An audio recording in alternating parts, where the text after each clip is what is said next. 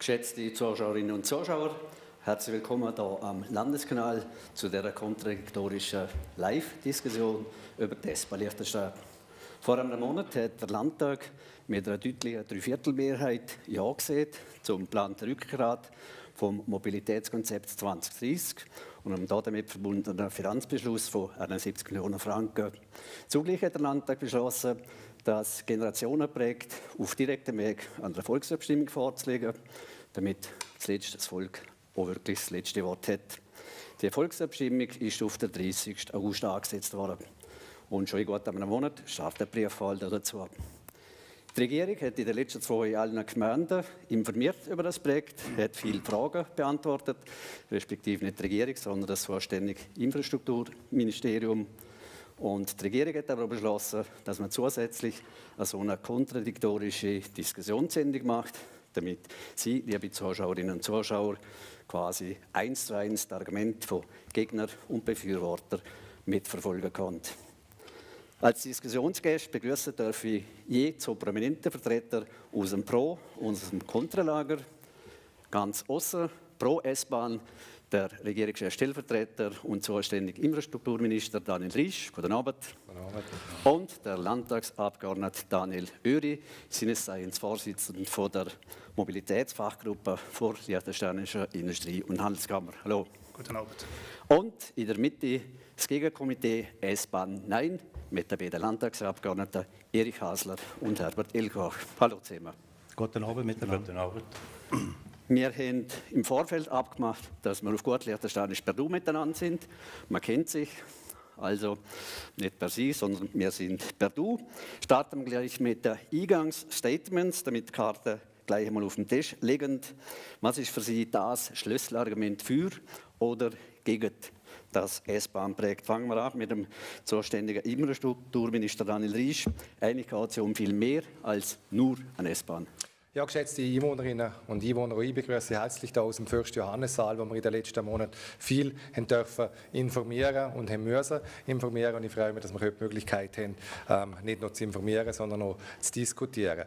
Ähm, bei der S-Bahn geht es ja nicht nur darum, quasi ein Infrastrukturprojekt auszubauen. Es geht um sehr viel mehr. Es geht um die Verbindung von zwei Verkehrssystemen. Es geht um die Verbindung von der Region und es geht vor allem darum, ähm, das Mobilitätskonzept, das wir aus dem Saal vor einigen Monaten dürfen vorstellen, das umzusetzen und mit, dem um mit dieser Umsetzung zu starten. Darum ist das eigentlich nicht einfach ein Finanzbeschluss für ein Projekt, sondern für mich ist das ein Startschuss für viele, die folgen sollen. Natürlich startet es immer mit einem Schritt und über den ersten Schritt können wir heute diskutieren, haben wir in den letzten Wochen dürfen informieren ähm, und spüren auch in diesen Veranstaltungen, dass wenn man sich mit den Fakten beschäftigt, wenn man auf die Inhalte eingeht, dann kann man durchaus überzeugt Ja sagen. Bleiben wir gerade bei der Pro-Seite, Daniel Löri. Sie sind überzeugt von der S-Bahn. Ist die S-Bahn das aller, Heilmittel für die Lösung für unser Verkehrsproblem? Die S-Bahn ist nicht das aller Heilmittel. Die S-Bahn ist aus für das CH-Kernprojekt im Mobilitätskonzept 2030.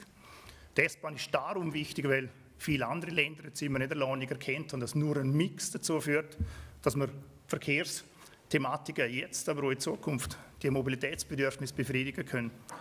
Darum setzt das Land Vorarlberg und der Kanton St. Gallen mehrere hundert Millionen ein in die Infrastruktur von der S-Bahn, in den Ausbau der Bahnhöfe, in Doppelgleise, die entstehen.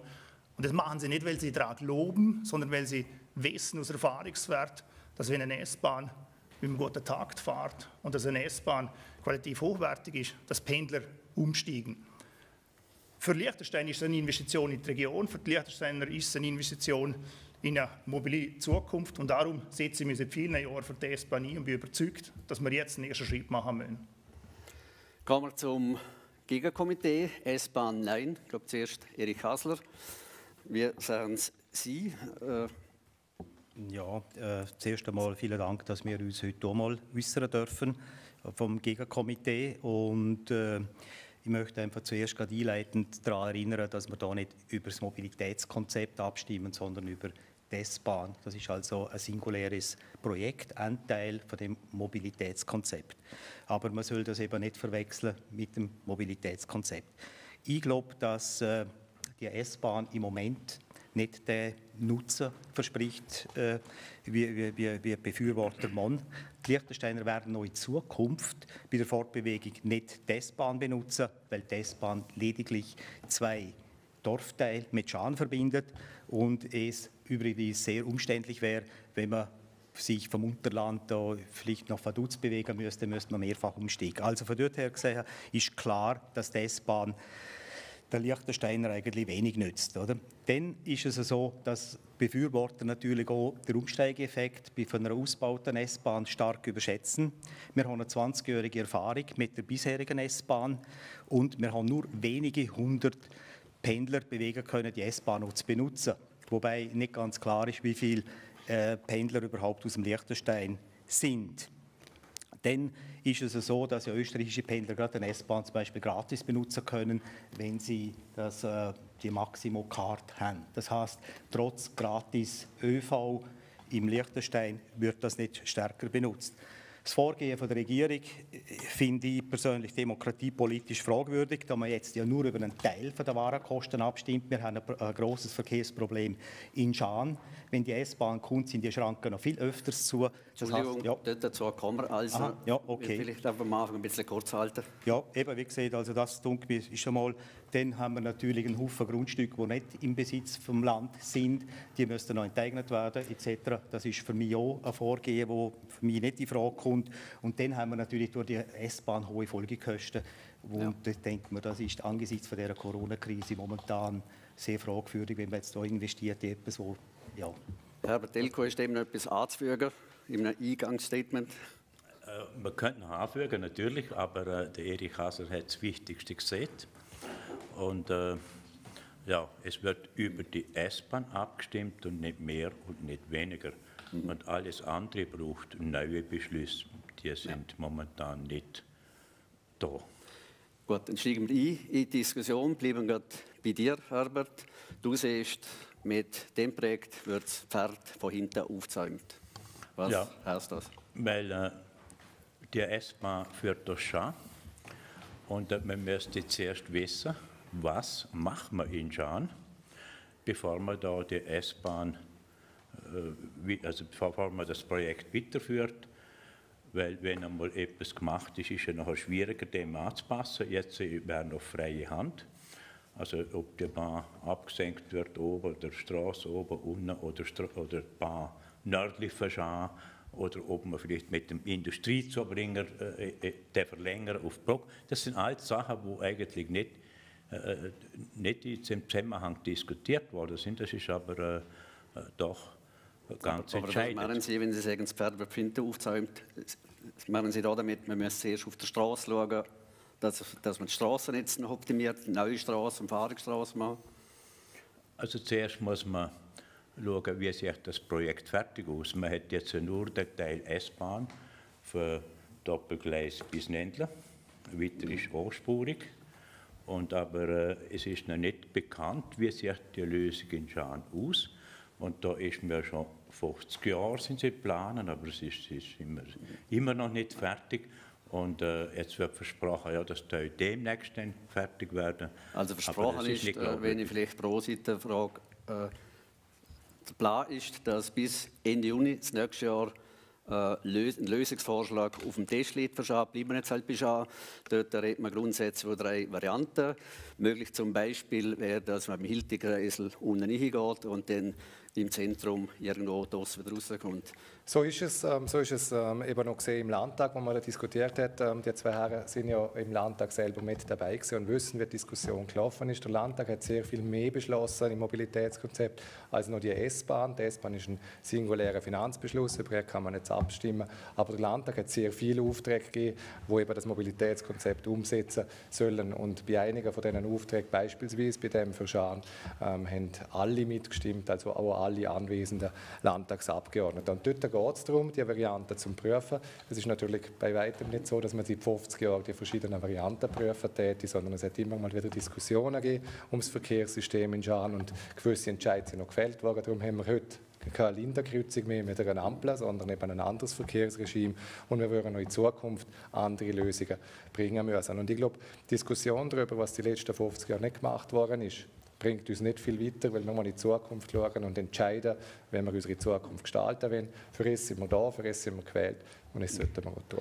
Warum monieren ihr, dass es für Schach keine Lösung gibt? In einem Landtag oder dafür gestimmt, dass man das entkoppelt?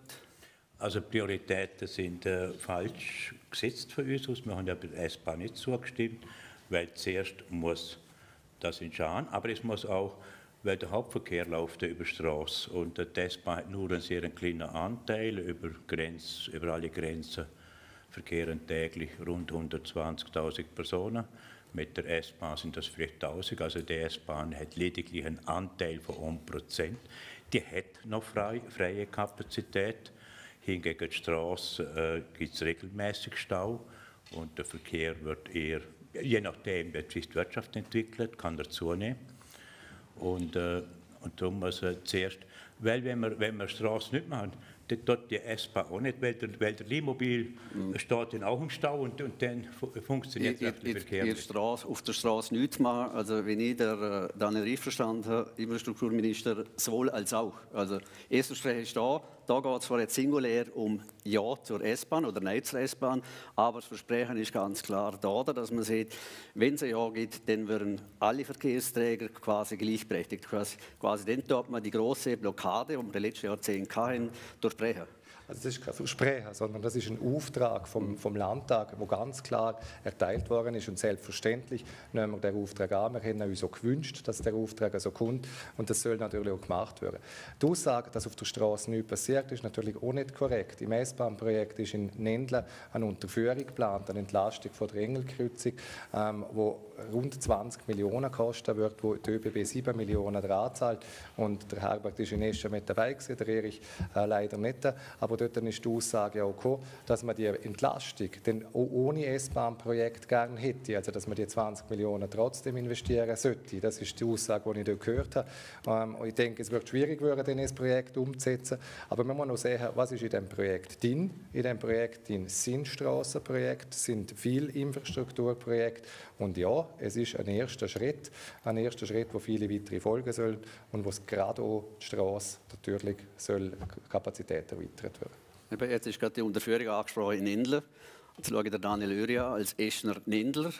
Warum ist für Nindler praktisch beschlossen, Dort ist eigentlich umstritten, dort gibt es mehr Verkehr und, und, und, längere Stauzeiten. Dort muss es unten nicht und schade, dass man die Stauzeiten eher klein Also auf Seite 118 im BNA steht drin, ah, quasi, das ist zwingend nötig zu Nindeln. Warum ist es dort zwingend nötig? Und schon sieht man, ja, es ist nicht viel größer, es gibt nicht viel längere Stauzeiten und Schliessungszeiten. Das hat weniger zu mit zwingend nötig, sondern der Gemeinderat ist, vor über zehn Jahren in einen Prozess eingebunden, gewesen, wo man den Bahnhof Nendle geplant hat. Der Gemeinderat war dort eingebunden und hat eine Zentrumsentwicklung in Nendle geplant. Und damals hat der Gemeinderat sich für eine Unterführung ausgesprochen. Und darum ist es nicht eine Thematik, wo wir sagen, zwingend. Aber im B&A steht zwingend erforderlich drin. Es ist ein Wunsch für die Gemeinde aus der Thematik Schan aus ist natürlich genau die gleiche Perspektive. Die Schaner haben auch ein Verkehrsthema. Die Schaner müssen sich eine Fragestellung stellen, wo geht es weiter.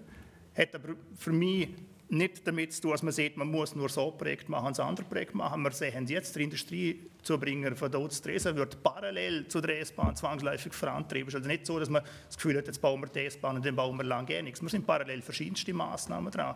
Und dort gehört dazu, dass man oder Verkehr in Schaan weiterhin optimiert. Und dort laufen auch Projekte. Aber die Befürchtung steht im Raum, Herbert Delkoch, das hast du mehrmals gesehen, wenn man ja sieht zur S-Bahn, dann nachher, wartet man ab und schaut, wie die S-Bahn zu laufen kommt. Wenn nicht, dann, dann schaut man Pricing die Straße quasi unattraktiv machen, dass man die Leute auf die Bahn zwingt äh, und dann passiert auf der Straße nichts. Das befürchten wir. Das Daniel Ries sieht, ja. das ist erklärterweise von der Regierung, vom Auftrag her ganz anders. Aber was seit Jahren, dass es äh, gewisse Lobbyisten für S-Bahn gibt, die immer wieder mit allen Mitteln versuchen, äh, bei der Straße irgendwie das zu verhindern, wenn da etwas gemacht wird. Und wenn die S-Bahn, es wird ja an verschiedenen Orten gesagt, die S-Bahn bringe Entlastung. Aber äh, wenn da auch 5000, was ja eine hohe Zahl wäre, mit der S-Bahn fahren, das sind halt dann statt 120.000 sind noch 110.000 auf der Straße. Das bringt keine Entlastung. Man muss nicht nur schauen und, und Ländler, es ist auch Pendler wo täglich Stau ist, und sehr oft auch am, am Morgen früh. Also es ist insgesamt das Straßennetz überlastet. Wir brauchen aber nicht Umfahrungsstraßen. Um ja, aber wenn Sie sagen, das Straßennetz ist insgesamt überlastet, warum setzen die denn noch mehr auf, auf Straßen? wo, wo haben Ihr Potenzial zu, zu, wir, wir, setzen nicht auf mehr Straßen, sondern dort, dort wo staut, dort muss breiter gemacht werden. Vielleicht im, ja. im Bänder zum Beispiel zwei Spuren, mhm. im Kreisel. Daniel Riesch zum Beispiel. Ja, ich möchte ähm, vielleicht auch eine Rückfrage stellen. Ähm, Herbert, du hast gesagt, eben, die 5000 bringen ja nichts. Jetzt ja in eurem äh, Transparentheftle steht, ihr seid noch nicht für eine S-Bahn. Jetzt ist natürlich die Frage, ja, wird es denn besser in diesem Bereich? Oder? Die Frage ist auch von der, von der Priorisierung. Ihr sagt immer, Priorisierung ist falsch gewählt. Priorisierung, das wissen die so gut wenn ich, weil ihr habt B und A gelesen, ist ja nicht von uns gewählt im Sinne von, das ist wichtiger oder das ist weniger wichtig, sondern es gibt im Moment die Chance, weil die ÖBB sowieso etwas machen muss, ähm, das Projekt jetzt anzugehen und gemeinsam umzusetzen. Das gibt es in fünf oder zehn Jahren so, wie es es jetzt gibt, nicht. Und insofern ist es nicht eine Priorisierung von der Wichtigkeit, sondern einfach ein zeitliche ähm, Dings, wo jetzt da liegt. Und darum, meine Frage wäre die Richtung, ich würde sagen, noch ist es nicht parat. Die Frage ist, wann ist es denn parat? Wann ist es denn besser, eine S-Bahn zu bauen, ähm, als, als jetzt, wo die Chance da ist? Also einmal die ÖBB verläuft nicht, das kann man auch noch später. Und äh, ist ihre Sache, Gesetzeskonformität, also muss sie sowieso irgendwann machen, das ist ja schon langfällig, weil gewisse Bereiche sind nun gesetzeskonform. Und äh, für dort her kann man, aber man muss das Ganze über alles anschauen, es muss verhältnismäßig sein zu den einzelnen Verkehrsteilnehmern. Es ist schon, wenn man will, viele Leute auf die S-Bahn bringen, dann braucht es Maßnahmen mit Straßengebühren, Parkplatzbewirtschaftung. Gut, jetzt, Und, aber, aber äh, das, die ÖBB sieht quasi jetzt, ja, wir, wir können der Verpflichtung nach, dann das modernisieren, laden Liechtenstein gleichzeitig ein, mitzumachen, nämlich in einem regionalen S-Bahn-Verbund. Was spricht dort dagegen? Respektive, wenn wir Nein sagen zur S-Bahn am 30. August, dann fährt der Zug mit der ÖBB allein ab. Und kann man dann, Herbert, in fünf oder zehn Jahren nochmal anklagen bei der ÖBB und sagen, ja, jetzt glaube ich, wir brauchen wir eine S-Bahn. Also wir haben ja jetzt schon eine S-Bahn, die fährt seit 20 Jahren mit, mit 18 ja. Verbindungen. Und äh, da steht ja auch nicht zur Diskussion, es steht ja nicht zur Diskussion, dass man die Bahn will weg haben. Aber äh, also die ÖBB muss einfach jetzt die Investitionen machen für den Fernverkehr, damit sie Flexibilität haben, damit sie Fahrplanstabilität haben. Und, äh, aber man kann dann immer noch mehr Züge bestellen, weil äh, die, mit, den, mit dem äh, Auftrag, äh, die ÖBB, die Infrastrukturunternehmen zu verbessern, fahren ja immer noch 18 Züge. Also man muss da dann auch einen Auftrag geben, der dann auch entsprechende Folgekosten verursacht. Aber das muss man nicht heute machen. Weil, weil aber, mit mehr Schrankenschliessungen ja. wird, wird, der öffentliche Verkehr bei uns geschwächt. Aber wenn Österreich die Hausaufgabe erledigt hat, die ÖBB, äh, dann würde sie sagen, okay, wenn wir jetzt selber das machen wollen, dann, ja, dann tun wir halt uns nicht beteiligen, dann machen wir, was ihr wollt. Daniel Risch. Also zuerst einmal ist das ein Bahnprojekt, ähm, hat natürlich auch mit einer Schliessung von der Strecke zu tun. Das ist nicht einfach quasi, wir machen ein bisschen etwas und dann machen wir wieder ein bisschen etwas. Wir haben ja schon ausgeführt, von denen, man kann danach zu den Kosten, ein Großteil von den Kosten geht natürlich auch in Brückeninfrastruktur und in andere Sachen. Dort wird die Strecke geschlossen und dann wird etwas gemacht. Und das muss gut geplant sein und da, da fallen natürlich auch Kosten bei der Baustelleneinrichtung und so weiter. Also das möchte ich einfach ähm, auch noch ähm, zu bedenken geben. Und ich möchte noch ganz kurz einen Punkt auf, aufnehmen zu dem Thema, die S-Bahn fährt ja heute schon. Ähm, der Erich hat vorher auch gesehen, die S-Bahn verbindet ja noch zwei Dorfteile mit einer, mit einer Gemeinde. Das ist natürlich völlig falsch. Ich meine, die S-Bahn fährt von Feldkirch bis Bux. In Feldkirch wären fünf Haltestellen, vier bei uns und eine in Bux. Ähm, Feldkirch allein hat 38'000 Einwohner, viele von denen pendeln ins Liechtenstein. Und dann ist es eingebunden und vertaktet in ein Gesamtsystem mit Vorarlberg und der Schweiz. Also wenn man jetzt da sieht, das Zögli fährt ja noch zwischen Scharwald und Schaan, ist das natürlich komplett falsch. Und was auch wichtig ist, möchte ich einfach auch mal der Klarheit ähm, äh, entsprechend sagen, wenn man sieht, die S-Bahn gibt es ja heute schon. Heute steigt niemand in Scharnwald aus und niemand in Scharnwald ein. Und es hat ganz einen einfachen Grund, weil es dort gerne keine Haltestelle mehr gibt, wo man ein- und aussteigen kann. Allein dort sieht man, es gibt noch weitere Haltestellen, die es noch gerne gibt. Und es ist nicht vertaktet, es ist nicht attraktiv. Also die heutige S-Bahn mit einem zukünftigen Angebotsvergleich ist, ist einfach viel zu kurz gegriffen und es hat mit den Fakten ganz wenig zu tun. Daniel Öri. Für mich ein Stichwort, das immer wieder gewendet oder aufgewendet wird, ist, man zwingt die Leute nachher in ein Verkehrsmittel. Der Pendler heute, aber auch der Liechtensteiner, ist frei in der Wahl von seinem Verkehrsmittel. Und zwangsläufig, und das kann man im Vorarlberg beobachten, wenn ich nicht im Stau stand und schnell mit einer S-Bahn vorwärts komme und nachher in einen Bus umsteigen kann, oder wenn ich mit dem Rad zum Bahnhof fahren kann und umsteigen kann, dann nutze ich das, wenn es eine gute Qualität hat. Es ist nur eine Qualitätsfrage ob die S-Bahn in Zukunft noch viel größeren Nutzen bringt als jetzt und nicht eine Frage vom Zwang. Erich Hasler, warum? Also in den meisten Agglomerationen oder in allen Agglomerationen ist man früher oder später drauf gekommen, S-Bahn macht Sinn und, und Städte und es funktioniert. Es funktioniert auch sehr gut in Vorarlberg und im St. Gallischen. Warum soll eine S-Bahn, wenn sie gut ausgebaut und gut taktet ist, das Liechtenstein nicht funktionieren? Ja, also erstens einmal ist natürlich die S-Bahn kann nach meiner Ansicht gerade für Liechtenstein niemals das Rückgrat vom Verkehr darstellen. Eben gerade darum, weil sie ja nur zwei Dorfteile mit Schaan verbindet im Inland. Oder? Und ich habe ja vorhin auch natürlich den Nutzen für die Liechtensteiner angesprochen, nicht insgesamt. Oder? Also für Liechtensteiner hat, ist der Nutzen von dieser S-Bahn äh, sehr begrenzt. Und dann muss wir uns natürlich auch äh, vor Augen halten, dass wir doch eher ein ländliches Gebiet sind und nicht eine städtische Agglomeration. Und äh, dort ist natürlich ein Leihmobil Bus sind natürlich viel eher geeignet für eine Vielverteilung vom Verkehr als eine S-Bahn. Die S-Bahn, wie gesagt, die verbindet bei uns wirklich nicht viel. Und äh, es mag eben, wie gesagt, ein Nutzen sein auf der Pendlerseite, aber nicht für die Liechtensteiner. Aber bei uns stehen letzten Endes auch in der Stau drin. Also. Ja, wie gesagt, aber, aber wie gesagt, darum muss man ja zuerst muss man ja die Probleme auf der Straße angehen. Und dort hat man eigentlich jahrelang jetzt, oder jahrzehntelang praktisch nichts gemacht. Oder? Weil bei uns, es steht hier eine Tunnelspinne vor der Tür. Und gerade in dieser Hinsicht ist bis jetzt überhaupt nichts unternommen. Man hat es ja. eigentlich versucht, eher zu torpedieren, aber nicht eine Lösung zu finden, gerade mit den Nachbarländern. Und man muss eine gesamthafte Lösung finden mit den Nachbarländern, wo wegen mir aus dem öffentlichen Verkehr einschließt mit einzelnen Strassenbauprojekten. Aber die S-Bahn wäre eine, eine gesamthafte Lösung. Äh, du hast die Tunnelspinne Feldkirch angesprochen, die, die wird kommen, kurz oder lang wird sie kommen. Und dann würde ja ein riesiger Verkehr ins Unterland schwimmen und für einen Verkehrsinfarkt sorgen. Daniel Öri. Tunnelspinne ist genau das Stichwort. An sich sind wir aufgrund von unserer Arbeitsplatzsituation, wir brauchen jeden Tag 22.000 Pendler, ein Magnet für die Arbeitskräfte, die ins Land kommen. Und weil halt die ÖV-Infrastruktur von Felkerhofen nicht so optimal ist, wie sie sein könnte, fahren viele heute noch mit dem Auto. Von 22.000 Arbeitsplätzen Pendler. Es sind 13.000 im Unterland inklusive Schan. Man muss einmal hören davon reden, dass es keinen Nutzen bringt. Ein Großteil von diesen Leuten können mit dem ÖV wenn er sinnvoll vertaktet ist. Das ist er heute nicht. Man muss einfach mal in Zukunft überlegen, wie können wir im Rheintal eine Verknüpfung zwischen der S-Bahn St. Gallen und der S-Bahn Vorarlberg herstellen.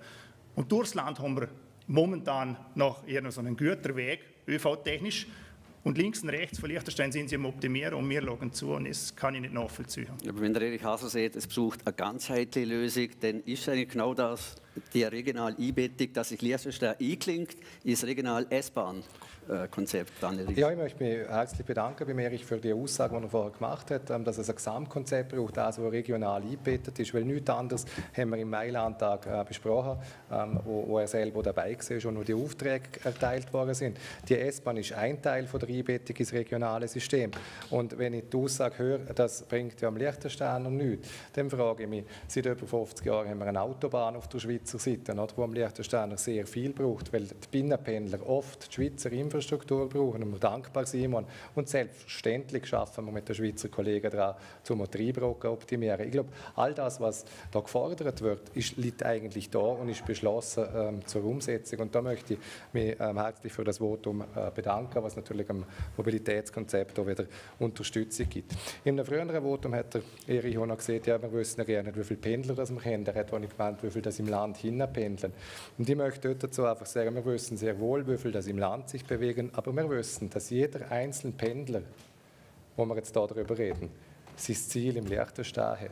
Er kommt daher geschaffen und ein Pendler ist auch nicht anonyme Masse und ich möchte mich dagegen verwehren, dass wir so ein bisschen gegen die Pendler reden. Wir, unsere Wirtschaft lebt von diesen über 20'000 Pendlern. Das sind Leute, die 8, 9, 10 Stunden am Tag bei uns im Land verbringen, die mit uns zusammen arbeiten, unsere Kinder unterrichten, unser Essen kochen und unsere Forschung vorantreiben. Die Pendler sind wichtig für einen Wirtschaftsstandort, die sind wichtig für unser Land und darum bringt es immer etwas, wenn wir gesamthaft denken und regional denken, so wie der Erich gesehen hat. Wir brauchen ein regional eingebettetes Gesamtsystem und das haben wir eigentlich hier vorlegen und können jetzt ein Jahr dazu bringen.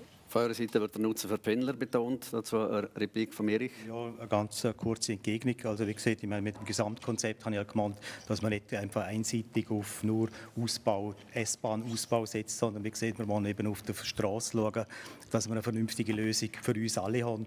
Äh, wie gesagt, wir haben im Unterland große Probleme. In Eschen haben wir den ganzen Verkehr, der durch Eschen durchrollt. Wenn wir jetzt die äh, Umfahrungsstraße äh, in Endlen bauen, dann ist äh, vermutlich der Weg durch Hessen noch einmal attraktiver. Dort äh, redet im, Moment gar niemand, dass man dort irgendwie eine Lösung im Blickwinkel hat. Oder? Und dann muss man halt einfach allgemein dazu sagen, Verkehrsprojekte heute durchzusetzen, das dauert Jahrzehnte. Jetzt sehen wir ja bereits ein Beispiel. Erstens einmal haben wir seit 50 Jahren kein wesentliches Verkehrsprojekt mehr realisieren können. Zweitens der Industriezubringer Tresa Dort hat man jahrzehntelang jetzt darüber geredet. Und wenn ich daran denke, wie viel schwieriger die Lösung in Schaan ist, dann muss ich sagen, da geht auf Jahrzehnte aus gar nicht. Aber ich glaube, gerade darum setzt die Regierung auf das Mobilitätskonzept, das die S-Bahn, ich sage jetzt mal nur das Rückgrat ist, aber ein wichtiges Rückgrat. Aber parallel sieht man, schaut man auch, dass man Straßen optimiert. Daniel Riesch. Ja, also ich finde, das ist recht widersprüchlich, Erich, was du siehst. Auf der einen Seite siehst du, ja Gott, nein, aber die Unterführung im Nendler will ich dann gleich nicht, weil es könnte attraktiver werden. In Schaan möchte ich aber eine Lösung, dort wird es dann offensichtlich nicht attraktiver werden. Wenn wir es attraktiver machen, dann fährt niemand ähm, damit. Eine Gesamtlösung hätten wir schon gerne, aber bitte nicht da. Ähm, ich finde, es ist noch, ist noch schwierig jetzt zum, zum Fassen. Soll, soll in Ländern eine Lösung gemacht werden oder soll keine gemacht werden? Ähm, und ich glaube, da muss man irgendwie jetzt den Ausweg finden.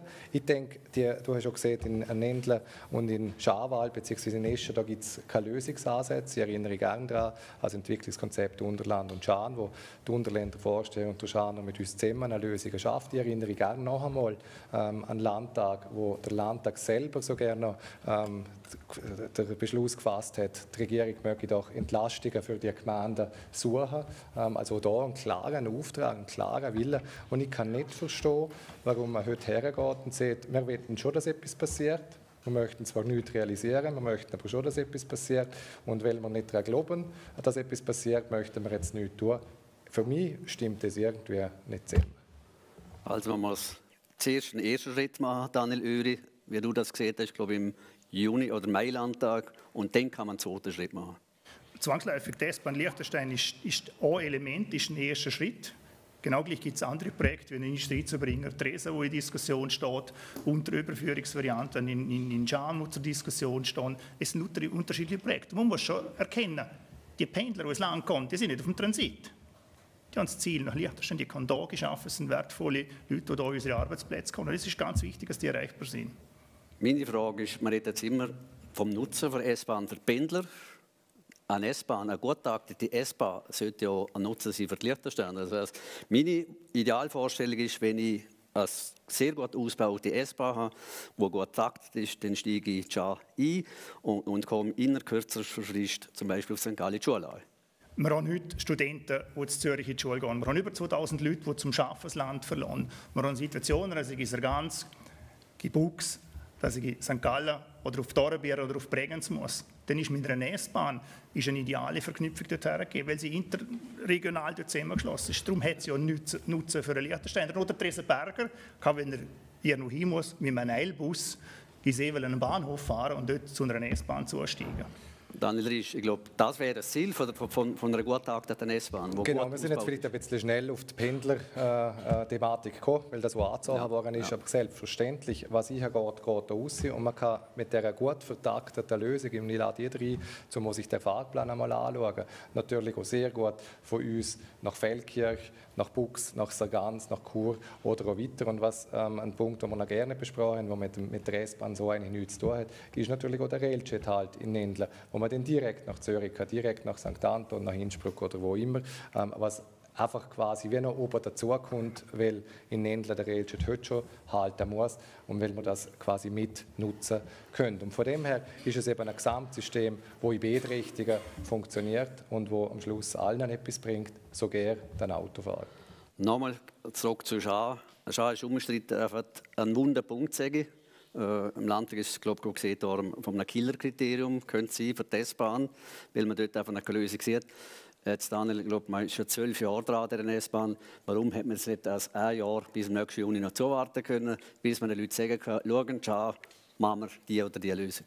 Ja, ähm, gehe ich gerne darauf ein kurz. Es ist ja so, der Daniel hat schon ausgeführt aus dem, aus dem Gemeinderat in Eschen, wo vor zehn Jahren schon die Lösung diskutiert worden ist. Eine, eine entsprechende Diskussion oder eine entsprechende Variantenentscheid von Schaan hat es vor zehn Jahren nicht gegeben, weil man vor zehn Jahren nicht darüber diskutiert hat, ob man soll, äh, quasi die niveaufreie machen oder nicht. So jedenfalls meine Information. Ich bin hier nicht dabei gewesen. Dem S-Bahn-Projekt mit Österreich hat man immer über den Doppelspurausbau zwischen Thesis und Nendler geredet und über die Lösungen auf dem Perimeter. Das ist der äh, Projektperimeter und mit, über das können wir jetzt ähm, auch, auch, abstimmen. Dass es für Schaan Lösungen braucht, ist selbstverständlich klar und seit wir jetzt in dem Konzept drinnen geschrieben haben, sieht jeder, jawohl, für Schaan bitte die Lösungen bringen und darum würden wir die ähm, jetzt hier vorantreiben. Ich glaube, da kann man uns vertrauen. Der Landtag hat es klarer, kann es gerne nicht beauftragen als mit 25, äh, mit 25 Stimmen. Aber warum es in der Vergangenheit nicht diskutiert worden ist, äh, das müssen wir meine Vorgänger fragen. Die, die ich gefragt habe, die sagen, es ist nicht so ein großes Thema gewesen. Und jetzt ist es das und jetzt lösen wir es. Umgekehrt, Daniel Löri, kann man sagen, auch wenn es eine eigene S-Bahn muss es schon eine Lösung geben. Es wird eine Verkehrssteigerung geben in betrifft auch und dann braucht es so bei einer Neizer S-Bahn eine Lösung für Schaan, eine Weiterentwicklung für Schaan. Und genau ist der Landtag beschlossen, unabhängig vom S-Bahn-Projekt ist Schaan zu optimieren. Äh, vielleicht einfach müssen wir allgemein in die Runde zu bedenken gehen, wenn wir die Vorlaufzeiten in der Verkehrspolitik anschauen. Und wir wissen von der Wachstumsprognose, Liechtenstein, wir gehen davon aus, äh, die gängigen Prognosen, dass wir in 20 Jahren plus minus bis zu 60 Prozent mehr Personen im Land haben, bis zu 60 äh, Prozent mehr Leute, die auf Mobilität angewiesen sind. Herr Bertelko, wie will man die denn noch auf der Straße oder ja, was wäre denn eure Lösung dort? Also es gibt ja verschiedene Verkehrsmittel. Es ist, also die Straße macht den öffentlichen Verkehr und sehr einen guten öffentlichen Verkehr. Wir sind angebunden. Die Bus fahren, mehrere, fahren über 100 Mal in die Grenzgebiet, der ganze Buchs Felker. Also wir sind jetzt schon sehr gut angeschlossen. Aber sie stehen letztendlich nur im Stau. Ja, weil man die Straße nicht macht. Aber das wird mit der S-Bahn nicht besser. Das, das bleibt genau gleich. Und äh, die S-Bahn braucht den, den Linienbus, aber der Linienbus braucht nicht die S-Bahn. Und die Straße ist auch für Radfahrer, ist für, für, für verschiedene Verkehrsteilnehmer. Und dieser Bahn ist ein starres Gebilde, wo, wo da durchgeht. Das kann man nicht ändern. Man kann die Linie nachher nicht ändern. Wo, was auf der, Stra der Linienbus fährt dort wo Straße ist, kann er fahren. Also die Infrastrukturkosten sind dort relativ oder ja, sehr klein. Dann sind wir verfragt, wo euer Parteipräsident aufgeworfen hat am Samstag im Leserbrief, schafft DESPA mehr Platz auf der Straße, Erik Hasler? Ja. Also nach meiner Ansicht äh, wird das nicht eine spürbare Entlastung von der Straße bringen, wenn wir, wenn wir berücksichtigen, wie viel Grenzübertritt wir heute täglich haben. Das sind ca. 125.000 und die S-Bahn, die schafft gerade mal ein paar hundert Grenzübertritt weg. Das ist etwa in der Grössenordnung wie der Fahrradverkehr, Langsamverkehr. Also von dort her gesehen kann man beim besten Willen nicht davon ausgehen, dass es äh, zu einer nur spürbaren Entlastung von der Straße kommt. Und dann haben wir ja prognostiziert, ja, man ja überall irgendeine gewaltige Zunahme von unseren Arbeitsplätzen, wobei ich davor warne, einfach irgendwelche Extrapolationen zu machen, weil wir haben jetzt gerade mal äh, die schwerste Wirtschaftskrise, die wir durchmachen. Und was dort dann nachkommt, wissen wir im Moment effektiv auch noch nicht. Daniel Riesch, Sie bringt zu wenig. Ja, sie bringt zu wenig. Du hast gefragt, ist es, ist es quasi, gibt es eine Entlastung, gibt's eine Entlastung für die Straße? Und ich glaube, ähm, wenn, wir, wenn wir ein bisschen daran glauben, dass wir weiter wachsen, eure Bevölkerung und auch in den Arbeitsplätzen, und ich glaube daran, dass wir in den nächsten 10, 20, 30 Jahren noch weiter wachsen würden, und ich glaube, das glauben ihr auch daran, dann brauchen wir Kapazität und wir brauchen Kapazität auf den verschiedenen ähm, Verkehrsträgern und nicht nur auf einem.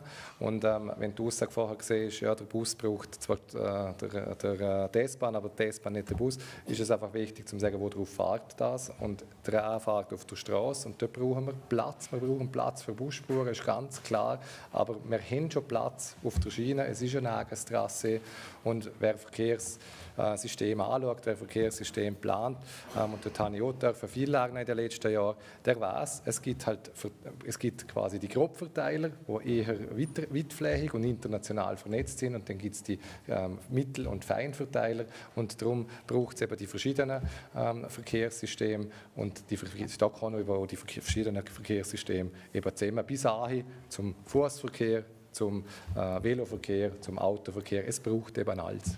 S-Bahn Liechtenstein, Daniel Öri, äh, da wird gesehen vom Gegenkomitee, da geht es um die Verbindung von zwei Dorfteilen. Also die aktuelle S-Bahn, jetzt abgestimmt wird, kann man nicht als S-Bahn Liechtenstein bezeichnen. Was ist dort angedenkt?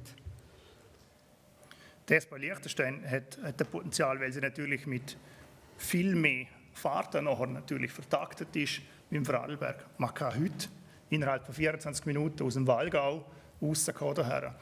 Man hat aber ein Gesamtverkehrsnetz. Aber man muss auch sehen, wir haben immer von der Pendler-Thematik geredet. Es hat auch einen Nutzen natürlich fürs Land, weil ich, dort, ich sage jetzt mal, mit dem Verkehrswachstum, das wir haben würden, sind wir zwangsläufig darauf angewiesen, dass wir einen Mix herbringen. Die S-Bahn alleine würde es nicht lösen, da gebe ich Das habe ich angesprochen, aber, aber S-Bahn Liechtenstein ist, glaube für die Liechtensteiner dann ein S-Bahn Liechtenstein, wenn es irgendwie zu äh, weitergeht, Richtung Balzers und dann äh, Trepach.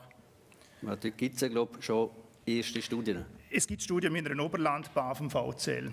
Man muss aber auch, und das ist eben so, ich sage, wenn wir regional, wenn wir mal unsere kleinräumliche Thematik mal verloren und mal aufzoomen, dann würden wir fest, dass wir rechts vom Rhein eine Autobahn haben und eine S-Bahn-Linie.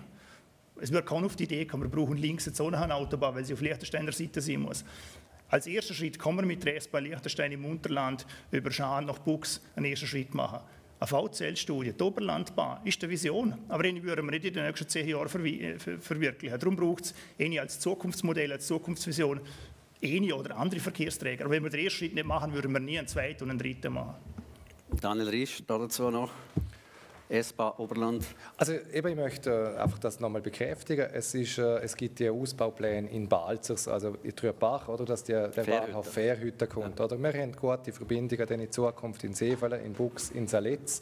Ähm, wir täten uns wünschen, dass es in Haag dann auch mal noch ähm, eine Haltestelle gibt. Also wir hätten dort natürlich schon mal eine Möglichkeit. Und ich sage auch, die S-Bahn ähm, also, oder die Oberlandbahn ist natürlich ein Zukunftsprojekt, das nach der S-Bahn ähm, könnte kommen. Und vielleicht, wenn wir noch zu den Fahrzeiten gehen, ähm, ist es so, wenn man heute äh, im Busfahrplan schaut, von Balz auf Feldkirch, ähm, etwa eine Stunde und zehn, Stunde und fünf Minuten. Und in Zukunft, wenn man, wenn man äh, schauen, könnte man mit einmal umsteigen im Bus dann, oder mit zweimal umsteigen, auch wenn man mit von Balzers beim Bus durchgeht, in rund 40 Minuten, ähm, also fast eine halbe Stunde schneller in Feldkirch sein, wie man dann dorthin gehen will. Ähm, und, und das muss man einfach auch berücksichtigen. Wir machen das ganze System auf dem, auf dem Grobverteiler schneller ähm, und besser durch die gute Vertaktung. Die Frage ist, schafft die S-Bahn mehr Platz auf der Straße? Das Gegenkomitee sieht viel zu wenig. Und ich glaube, dann sind wir einfach hier bei Kosten nutzen. Also dann müssen wir jetzt so anfangen, mal über Kosten reden. Ich möchte einfach noch einmal die Frage wiederholen, die ich schon mal gestellt habe. Ähm, also, weil, wenn sie zu wenig schafft, wieso steht denn im, in eurem Heftchen noch ist es nicht, äh, nicht gut genug? Oder? Weil dann, äh, dann ist sie nie ähm, gut. Und das haben wir auch schon diskutiert an den Veranstaltungen, wo wir dabei sind. Ich meine, die Frage ist, wenn noch ist ein schwieriges Argument, weil in zehn Jahren werden wir sie vermutlich nicht realisieren. Ja, und nochmal der Planungshorizont im Verkehr wissen wir ist sehr hoch. Also, Erich? Ja, also wie gesagt, ich meine, es ist so, der, der Landtag hat der Regierung einige Aufträge erteilt im, im äh, Mobilitätskonzept 2030. Aber man muss natürlich auch klar sagen, das ist, äh, das ist äh, eine Wunschliste. Das ist äh, zum Teil Sachen drin, die effektiv utopisch sind. Und ich muss einfach nochmal darauf hinweisen. Was, was konkret ist utopisch? Ja, eben, wie gesagt, Zum Beispiel? Dass, dass man halt eben sieht, dass wir eine Lösung parat haben in einem Jahr für Schan. Oder Schan ist ja gerade, wenn man in Detail geht, dann hat Also für mich ist das, Entschuldigung, keine Utopie, das ist ein Versprechen Ja, von, ist von, von Schah und, und von der Regierung, Daniel Riesch. Also ja, ich kann mir auch nicht vorstellen, dass wir nächsten Sommer ähm, zum Landtag kommen und sagen, wir haben nichts gefunden. Also wir haben nämlich die, auf Seite 92 schon beschrieben, welche Varianten wir prüfen. Wir würden die im Detail prüfen. Wir würden, bevor wir zum Landtag kommen, selbstverständlich auch mit der Gemeinde Schaan und ich nehme mal an, auch mit der Bevölkerung die Lösungen anschauen. Ähm, und da von einer Utopie zu reden, dass nächstes Jahr eine Variantenprüfung abgeschlossen ist, ja, dann nimmt sich der Landtag habe auch zugestimmt bei diesen 25. Dann nimmt sich der Landtag nicht ernst, wenn er einen Auftrag gibt, wo er denkt, dass er nicht realisiert wird. Das ist das Einzige, was ich dazu sagen kann. Und wie gesagt, die Erfahrung in allen anderen Ländern, oder sagen, schauen wir nur auf Vorarlberg mit der S18, da wird 50 Jahre schon darüber geredet.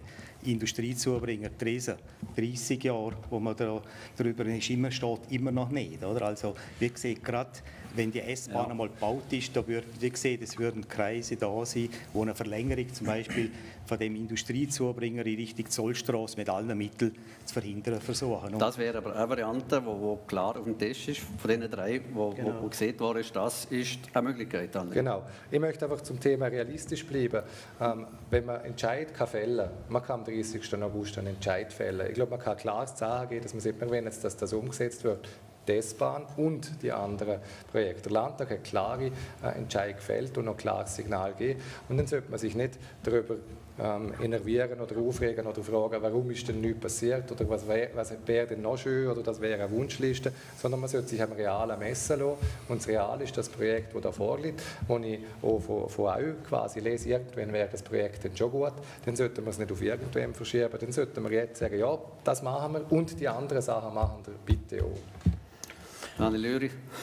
Vielleicht als Ergänzung, der Landtag hat doch klar beschlossen, dass es ein Controlling gibt. Der Landtag hat in diesen Maßnahmen auch gewünscht, dass wir alle zwei Jahre einen Bericht haben. Also es ist nicht so, dass wir das einfach in die Hand vom Ministerium gehen und warten, bis die S-Bahn vom Himmel geht und die anderen Maßnahmen.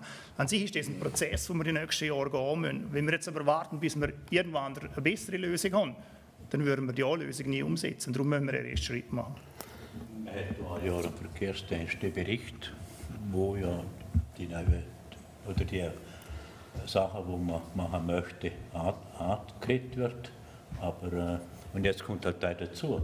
Aber ob das wirklich ändert, das ist ja nächstes Jahr wieder ein anderes. Gut, ich glaube, es bringt jetzt nicht die Diskussion. Wir wollen Politik an den Versprecher messen. Im nächsten Juni sind wir schlauer. Das würden wir da heute nicht klären können. Jetzt Kosten Nutzen angesprochen, reden wir noch kurz über Kosten. Die Regierung sieht, es ist ein guter Deal. Daniel Riesch, warum ist es ein guter Deal? 71 Millionen Franken. Ja, vielleicht möchte ich noch schnell bei, den Daten noch einmal schnell äh, ein- einhaken. Man muss Politik an den Daten messen. Ähm, man hat mir vor zwei Jahren gesehen, er würde nie einen Finanzbeschluss in dieser Legislatur mit Österreich verhandeln können und vorlegen. Haben gesagt, mal, wir machen es und wir bringen ihn noch. Haben gesagt, wir bringen ihn im ersten Halbjahr. Jetzt liegt er da, jetzt kann man ihn entscheiden. Und ich glaube, mit der gleichen Energie und mit dem gleichen Nachdruck will wir die anderen Projekte auch verfolgen. Und der Landtag hat uns die Rockendeckung gegeben. Zu diesen 71 Millionen, ist das ein guter Deal oder ist das kein guter Deal? Aus meiner Sicht ist es ein sehr ein fairer Deal. Wir haben sehr transparent im Bericht und Antrag ausgeführt, welche Teil welche Seite tragen soll. Es ist ja so, wir haben von Anfang an gesehen, noch wir zahlen noch mit auf, für Sachen, die auf Hochheitsgebiet vom Liechtenstein passieren sollen. Das sind die 120, 122 Millionen von den 197, die es insgesamt sind. Und dort haben wir den Fokus natürlich auf dem Nahverkehr gehabt und auf das Straßeninfrastrukturprojekt Haltestellen. Das sind die Themen, die wir dort hatten. Dann gibt es natürlich immer Bauteile, die für, auch für den Fernverkehr sind. Und so hat man dann eben ähm, die Verhandlungen so geführt. Ich denke, es ist ein sehr ein guter Deal. So billig oder so günstig kommt Liechtenstein nie mit zu einer S-Bahn. Seht das Ministerium, äh, Herbert Dilkoch, Erich Hasler, äh, von eurer Seite oder vom Parteipräsident ist... Also, also, ja. ja. Ja, bitte. Also es ist so, dass äh, Liechtenstein zahlt seinen Teil und Österreich zahlt ihren Teil, das, das hat nicht mit Prozent zu tun, das sind einzelne Positionen. Mhm. Und äh, die, Aber die ist Möglichkeit ist immer wieder. Ist, ist für euch kein guter Deal? Nein, weil, weil äh, zuerst muss, äh, jetzt ist es so, für, für die Schweiz zum Beispiel sind 12.500 Grenzgänger. Und ein grosser Anteil wohnt im Werdenberg. Und fahren dann für die Schweiz für, zu uns durch 173 Leute. Ja. Also ob das, Aber jetzt, ob das jetzt reden, reden, die, jetzt, die 71 Millionen gerechtfertigt, Ja. das muss man sich schon überlegen. Aber wenn wir in fünf oder zehn Jahren schlauer sind und sagen, jetzt haben wir gleich eine S-Bahn, dann, kann man immer noch ohne machen. aber nicht mehr, nicht, nicht mehr zu, zu dem Preis, weil dann müssen wir sie selber stimmen. Man muss jetzt so selber zahlen, weil wir zahlen ja die ganze Bahnhof, also die ganze Haltestelle selber. Man muss ja auch der Teil, der untere Teil, wo doppelgleisig ist, auch zum großen Teil zahlen. Die die ÖBB zahlt das für den Fernverkehr, aber nicht unsere S-Bahn. Aber wenn denn das mal gemacht ist, dann geht das dann, ich sage um für Dan, ÖBB. Daniel Öri, in fünf oder zehn Jahren kann man problemlos selber eine S-Bahn machen, wenn wir dann den Bedarf wirklich sehen. Absolut falsch. Man kann sie schon machen. Wir würden sie aber selber zahlen. Und wenn man im Bericht einen Antrag hinschaut und hinter Detailtabellen anschaut, dann sieht man, wie es aufgesplittet ist. Ja, das sieht man. Wir zahlen unseren Teil und Österreich zahlt seinen Teil. Nein, Was zahlt Österreich uns an, an die Haltestelle? Also es ist nicht korrekt, ähm, weil man die S-Bahn ja nicht nur einfach von der Grenze bis zur Grenze betrachten kann. Wir binden uns da, wie es der Erich vorher gefordert hat, in ein internationales System, in ein regionales System. Wir haben gesehen, wir zahlen noch an dem Teil, was im Liechtenstein passiert. Dass in Österreich die Schiene auch natürlich erneuert wird, dass es sogar neue Bahnhöfe gibt in Toasters, über das reden wir ja gerne nicht, aber es gehört auch zum S-Bahn-Angebot. Und das darf man nicht vergessen. Und auf unserer Seite ähm, zahlen wir natürlich an die Haltestellen ähm, der, der Teil, weil wir ja der Nahverkehr dort davon profitiert, der Fernverkehr profitiert noch in Ländlern und dort zahlt Österreich maßgeblich ja auch mit. Und ich finde, es ist ein wichtiger Punkt, dass man es, dass man es so einfach, einfach anerkennt, ähm, dass von den 197 Millionen, wo die ganze S-Bahn, wo die ganze Schieneninfrastruktur kostet, natürlich ein kleinerer Teil bei uns ist. Und was ich ähm, eigentlich da noch möchte, in die Diskussion ein- ein- einbringen, weil es hat immer geheißen, ist jetzt das gut oder ist jetzt das nicht gut. Wir binden uns in ein regionales System ein. In ein regionales System, wo die Schweiz massiv investiert im Rheintal, über 200 Millionen, Österreich massiv investiert. Eigentlich würden da rund eine halbe Milliarde, 500 Millionen rund in dieser Region ins Bahnsystem investiert. Wir können mit 66 Millionen mit dabei sein, mit partizipieren und unseren Teil auch beitragen. Wenn wir es im Strassen, ähm, Straßenverkehr machen, dort investieren die Schweizer auch einen Haufen in die Autobahnen, wo wir nichts zahlen. Und ich glaube, man muss es ein bisschen grösser sehen, was ist unser Beitrag und was ist unser Nutzen. Und dass wir in der Region natürlich profitieren, wenn alle anderen ihre Mobilitätsangebote ausbauen und wir es können anbinden. Ich glaube, dort ähm, ja, kann niemand irgendwie sagen, es sei nicht wahr. Aber man könnte sagen, man könnte es billiger haben. Zum Beispiel schlägt der Parteipräsident von der DPL vor, äh, Doppelspurausbau braucht es nicht so lange. Daniel Öri. Oder vergoldete Bahnhöfe. Ich weiß nicht, wo das Gefühl herkommt, vergoldete Bahnhöfe. Also ich bin regelmäßig im Vorarlberg und in der Schweizer Bahnhof auf Weg und sehe auch kleine Bahnhöfe. Und die Planung gibt keine vergoldete Bahnhöfe. Es ist Standardtechnik umgebaut bei deren Infrastruktur. Erich Hasler, wird die ÖBB zu Liechtenstein die luxuriöseren Bahnhöfe machen als im Augenland?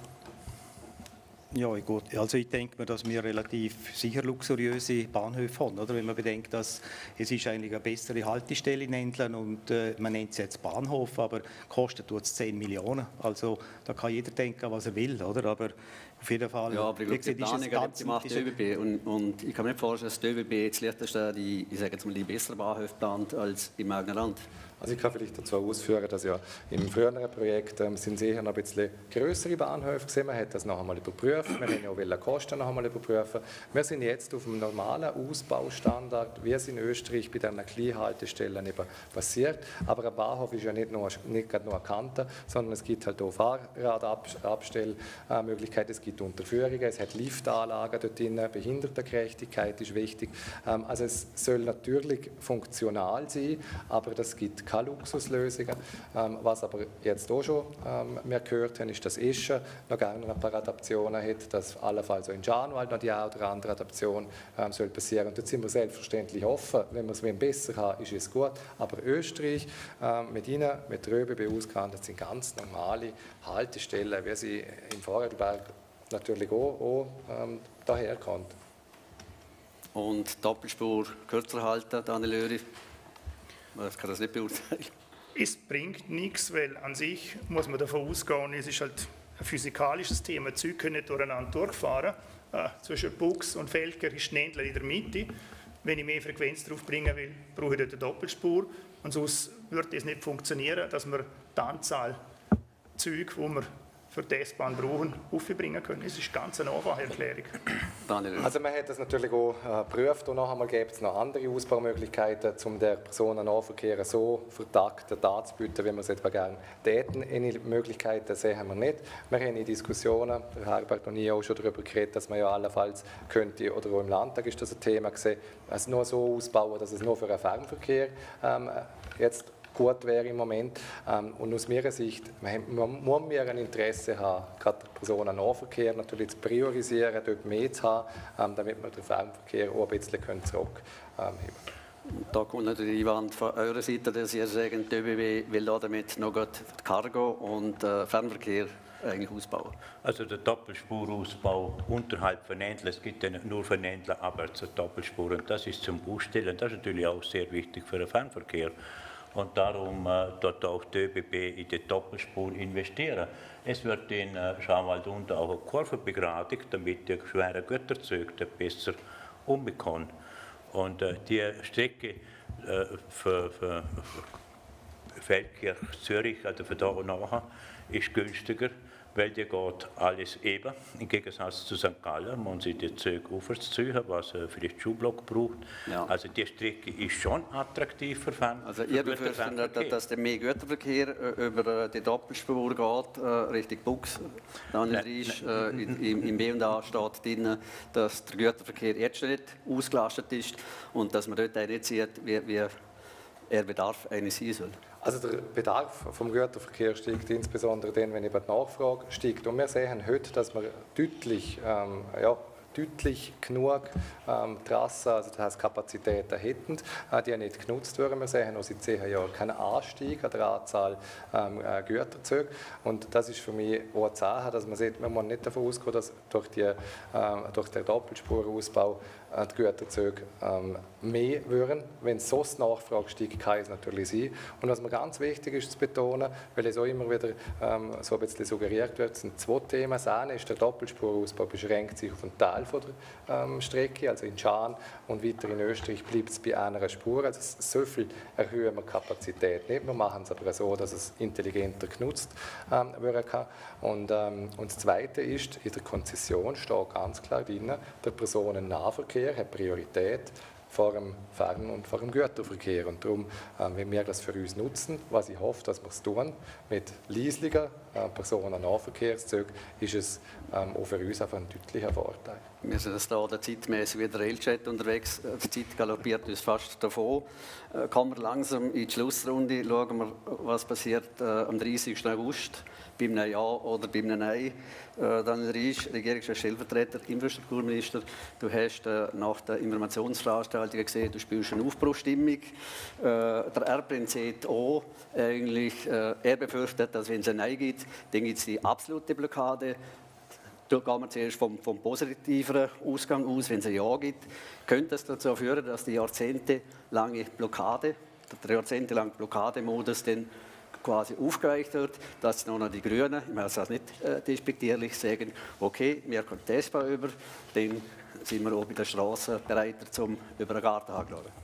Ich bin überzeugt davon, dass das, ähm, darum habe ich so einleitend gesehen, kann der Startschuss sein, soll der Startschuss sein, um die anderen Projekte umsetzen. Ähm, in Erarbeitung sind sie schon in, in, verschiedenen Stadien und ich denke, man kann dann auch sagen, S-Bahn hat man gemacht und die anderen Projekte ähm, sollen äh, quasi dem, dem Beispiel folgen. Ich teile da äh, die Meinung auch, auch vom Erbprinz, äh, dass es unter Umständen bei einem Nein kann zu einer Blockade kommen, dass man dann sieht, die S-Bahn ist schon nicht gekommen. Ich stelle mir beispielsweise die Frage, dann haben wir eine Lösung für Schaan. hätten wir den. Und dann muss das Volk entscheiden. Aber S-Bahn haben wir nicht realisiert. Ich bin nicht sicher, ob es dem funktioniert. Ich bin auch nicht sicher, wenn das Oberland quasi gegen die S-Bahn votiert, ob dann der Industriezubringer von dort Dresen von den Unterländern befürwortet wird. Und darum bin ich felsenfester Überzeugung, dass man muss sagen, ja, das schon, und die anderen Sachen auch und nicht nein, aber die anderen Sachen. Ähm, die gleiche Frage als Gegenkomitee. Sehen ihr die Chance, dass, dass der Blockademodus, den wir jetzt jahrzehntelang hatten, bei einem Ja zur S-Bahn, dann aufgeweicht wird, dass dann wirklich eine Aufbruchstimmung da ist, dass man sieht, okay, wir wollen jetzt etwas tun? Also ich denke mir ja, weil, weil äh, dann ist ja das einmal im Moment ist das auf der Seite und dann hat man für andere Möglichkeiten Platz. Das heißt, grosse Straßenprojekte wie, ich sage jetzt mal, eine Tunnellösung schaffen vom Mittelkreis ins Zentrum, ja, hätten bessere Chancen wie ein Ja zur S-Bahn. Also punktuell muss ja, man ja. zuerst mal lösen, weil Umfahrungsstraße oder grosse Projekte, das, für das sind wir spät. Man muss punktuell das lösen, das dort muss dort muss es einfach mehr Platz bekommen. In Schaan man hat die Barriere sollten schon lange weg, anderswo hat man die Barriere abgeschafft. Aber dann bestätigst du eigentlich äh, das, was der Erpin sieht und jetzt oder Daniel Riesch gesehen hat, ein Ja zur S-Bahn könnte wirklich dazu führen, dass die jahrzehntelang Blockadepolitik aufgehen wird dass man dann wirklich sieht vom Stimmvolk, wenn man muss ehrlich ist, Charter Industrie zu bringen, hat man nicht durchgebracht, weil man mit einer Schranke gekommen ist, weil man nicht den Mut gehabt hat, eine Unterführung machen, weil man gewusst hat, dann wäre es sowieso im Bausch und Bogen verworfen worden. Ja, aber die Einstellung äh, ändert sich auch mit der Zeit. Man kann nicht immer äh, äh, irgendein Projekt hernehmen, wo man, wo man war, und sagen, ja, neu, neu ist es gleich, weil, weil die, die, es ändert sich ja laufend. Aber eben, jetzt sind wir beim Jahr zur S-Bahn. Nochmal, dann haben deren Projekt mehr Chancen. Ich gehe davon aus schon, ja. Also ich, gehe davon aus. Also ich sehe das also ganz gegenteilig. Nach meiner Ansicht, wenn das S-Bahn-Projekt angenommen würde, dann, wie gesagt, dann würden also die anderen Verkehrsprojekte würden dann umso mehr äh, Mühe haben. Wie gesagt, ich kann einfach nur einfach nochmal daran erinnern, Verkehrsprojekte, gerade in dem Rahmen und in der heutigen Zeit, sind extrem, auf der Straße, die sind extrem schwierig durchzusetzen. Wir haben, wie gesagt, selber Erfahrungen im Land. 50 Jahre war eigentlich Stillstand gewesen. Industriezubringer Riesen jahrzehntelang. Schan ist eine sehr teure Lösung. Dort hat man müssen mit der mit der Regelung jetzt mit S-Bahn eine Lösung finden, weil im Gesetz steht ja, Artikel 43, dass gerade bei Überführungen oder wenn man niveaugleiche Übergänge aus also äh, entfernt, dann muss grundsätzlich oder Betreiber die Hälfte an der Kosten tragen grundsätzlich. Und das, die Chance da, die wird einfach verspielt. Und, und ich sehe überhaupt keinen Grund, dass man jetzt so ein halbfertiges Projekt zum, zur Abstimmung bringt, ohne dass Gott, man die, aber die, die diesbezüglich sind ihr zwei euch da nicht einig, jetzt die Frage von Daniel Öri. Doch, wir sind uns schon einig. Also du hast gesehen, bei einem Ja zur S-Bahn steigen die Chancen, dass man Strassenprojekt die grossen eher dann durchbringt? Äh, nein, eben nicht. Eben nicht? Ja, beim, beim Ja wird das eher verhindert. Also wenn wir, okay. das, wenn wir das Bahn nicht bauen, ist dort ein freier Raum. Daniel Lüri. Ich weiß nicht, aufgrund von welcher Basis man das Gefühl ableiten kann. Ein Ja für S-Bahn heißt für mich, ich bin ein Partner zum Land Vorarlberg und zum Kanton St. Gallen und vernetzt dort regional die S-Bahn-Infrastruktur und es heißt für mich einen Schritt für weitere Maßnahmen. Und dann können wir auch über Straßen, dann können wir auch über Radwege und über andere Themen diskutieren. Und das kann man aus meiner Sicht und muss man nicht koppeln. Keine Ahnung, wie man auf das Gefühl kommt. Die Bevölkerung hat mehrheitlich gesehen, sie wünschen sich mehr öffentlichen Verkehr. Ähm, kann man nicht vorstellen, wie man dort dagegen ziehen kann. Also ich möchte einfach dazu sagen, gerade bei dieser Umfrage, wobei die Fragen für mich jetzt persönlich nicht unbedingt sehr detailliert und professionell sind, aber äh, dort hat eben auch noch mehr äh, einen größeren Anteil von der Bevölkerung hat sich dafür ausgesprochen, dass man Straßenprojekte äh, realisiert. Das sind nämlich 55 Prozent und nicht nur 54 Prozent bei Ausbau. Äh, Jetzt muss da dazu eine Replik von Daniel Riesch. Ja, vielen Dank, Erich, äh, dass du mir darauf hinweist, dass es 55 und 54 Prozent sind. Das zeigt ja eben, dass der Mix ähm, wichtig ist, dass der Prozentunterschied, ich glaube, wegen dem sollten wir nicht quasi ähm, verschiedene ähm, ja, verschiedene Verkehrsträger gegeneinander aussprechen. Aber vielleicht zu der Frage, die du gestellt hast, ähm, noch, schnell, Martin. Oder? Ich höre den Landtag über mehr als neun Stunden sagen, machen das alles, die S-Bahn ist ein Teil davon. Ich höre den Erbprinz, der sagt, die S-Bahn ist wichtig als Start, quasi, damit wir die Sachen umsetzen können. Ich höre am Bürgermeister, zwei Vorsteherinnen und neun Vorsteher sagen, acht Vorsteher, Entschuldigung, ähm, sagen, wir wollen das umgesetzt haben, wir sind für die S-Bahn, wir sind aber auch für alle weiteren Projekte. Ich höre nach diesen Veranstaltungen einen Haufen Leute, die sagen, die S-Bahn ist gut, aber wir müssen die anderen Sachen umsetzen. Und ich höre auch mich sagen, wir brauchen den Mix und wir brauchen das umsetzen. Und dann kann ich nicht verstehen, dass man sagt, da bin ich jetzt dagegen, aber die anderen Sachen hätte ich dann schon gern. Wir müssen grösser denken, wir müssen nach vorne schauen und wir müssen jetzt Ja sagen, damit etwas geht in dem Land. Da wären wir schon bei der Abstimmungsaufruf. Wir sind zeitlich schon fast durch bei dieser Stunde. Ja, es gibt von eurer Seite etwas sagen, weil sonst hätten wir direkt, wir haben noch Medienvertreter da dahinter, wenn es sich noch eine Frage aufdrängt von Seiten der Medien, dann gerne. Ja, bitte Daniela Fritz vom Volksblatt. Ähm, es ist immer wieder die Rede von 120.000 Grenzübertritte pro Tag. Gleichzeitig vergleicht man das mit ähm, Personen im Zug, also 173 Personen, die da nach Bux fahren. Ist das nicht ein bisschen ein Vergleichen von Äpfel und Birnen? Also ob die Zahlen, man hätte Zahlen kann. Ja. Und warum man sie miteinander vergleicht, weil das, das eine sind Personen, ja, das, das andere Grenzen. Das gibt das Verhältnis, äh, wie die Straße genutzt wird und wie die S-Bahn genutzt wird. Und das Verhältnis ist äh, weit auseinander und man da genau dort investieren in das äh, Verkehrsmittel, wo weniger investiert wird. Aber die Zahlen, das sind offizielle Zahlen, das sind nicht für uns irgendwie zählt, sondern das sind ÖBB-Zählungen, das sind äh, Daten, die Firma Pest gemacht hat oder so. Also das sind offizielle Zahlen.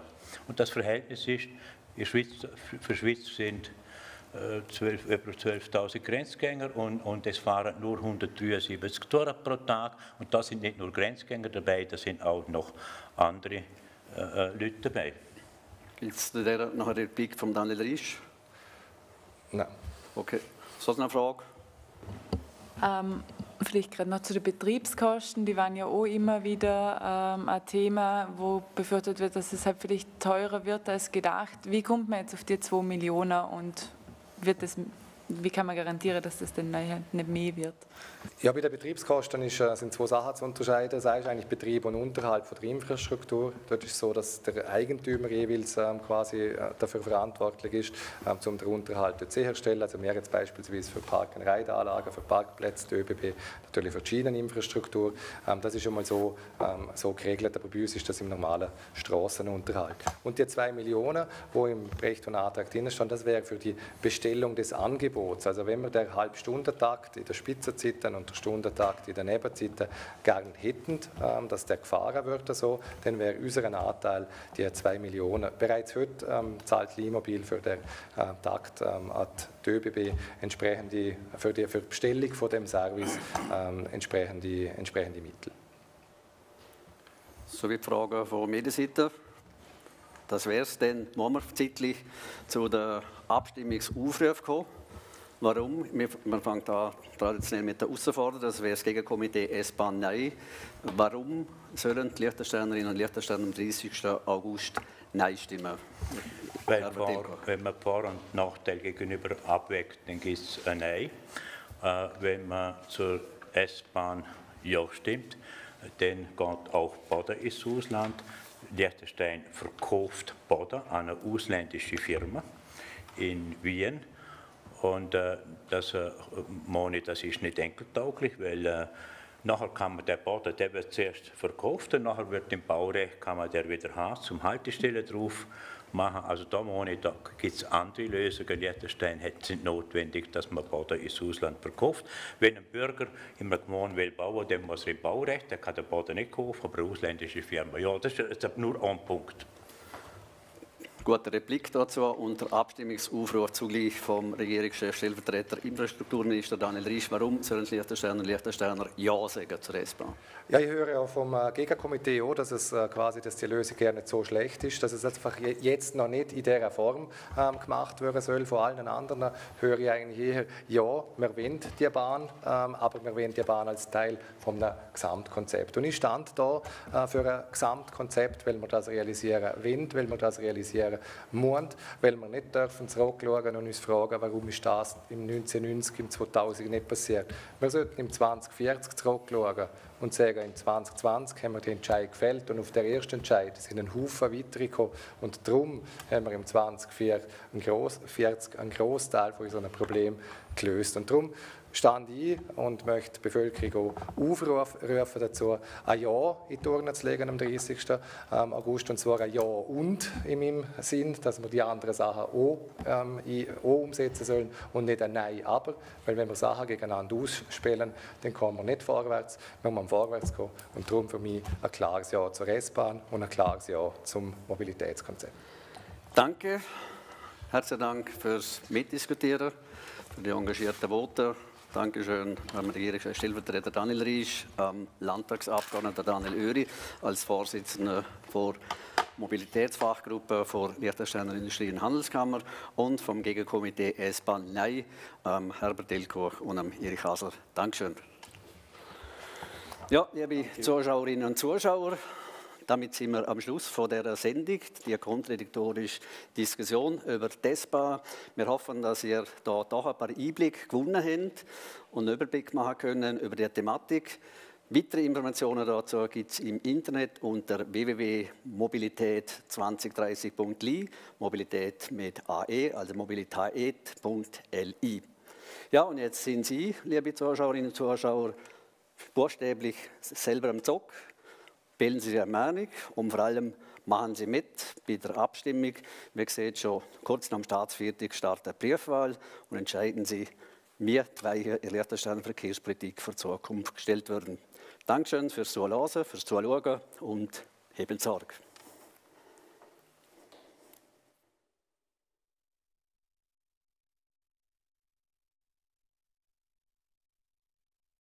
Also es ist klar, der FC Verdotz holt die drei Punkte, aber ob es ein 3S gibt oder vielleicht sogar noch Goal dazu kommt, das wird sich jetzt zeigen, weil, glaube der Schiedsrichter zeigt da einem Foul vom Goalie Spiegel noch auf einen Penaltypunkt, Foul vom Simani, hat er, glaube ich, gesehen, der Schiedsrichter. Der Spiegel kommt auf jeden Fall gel über und das heißt, es wird für Verdotzer zum Schluss noch ein Penalty geben, aller, allerletzten Minute.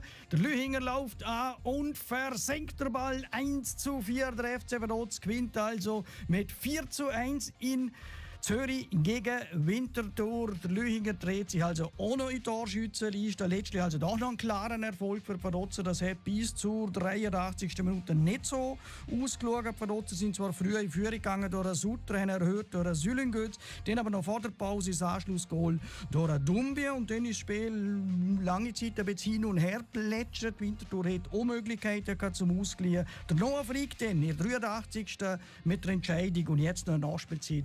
Der Gabriel Lühinger mit dem 4 zu 1 und das wird es äh, gesehen sein. Das heisst, der FC Verotz erfüllt Pflicht, lädt vor und jetzt ist der Druck auf GC ein bisschen erhöht, weil das höher treffen denn am halben neun auf Stade Lausanne. Aktuell nur noch zwei Punkte Rückstand. Mal schauen, was passiert, wenn GC gespielt hat. Und dann schauen wir noch schnell zum anderen Spiel. So eben 10 gegangen. Lausanne, der Leader, müht sich gegen das Schlusslicht Jasso zum knappen 2 Das ist übrigens der erste Sieg für das Team von Trainer Giorgio Contini nach der Corona-Pause. Danke, Chrissy Kinder. Und das ist es schon wieder gesehen von unserer Fußball-Spezialsendung. Danke euch fürs Zuhören und noch einen schönen Dienstagabend wünsche ich Andreas Kettli. Auswärtsspiel. Präsentiert von Zandanel. Z wie die Schlosserei in. Danke. Zandanel.li